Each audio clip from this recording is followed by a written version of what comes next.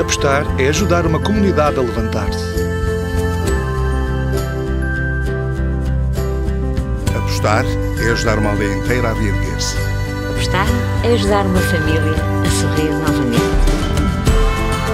Apostar é ajudar uma vila a recuperar as suas tradições.